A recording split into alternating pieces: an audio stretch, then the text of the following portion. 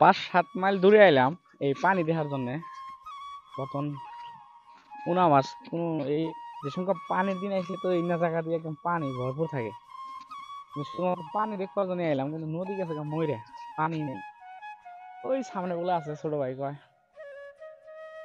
ওই জায়গায় আছে, পানি দেখব নদীর ঝিকঝিক টলটলা পানি, একদম। আপনাদেরকে দেখামো, সাথে থাকেন। আর মজা নেই অল্প। মানে এরকম লাগতেছে যে পানির মধ্যে অল্প হাত পা দিলেই ভালো লাগবে ওই যে একটা বোয়া কেন বই আছে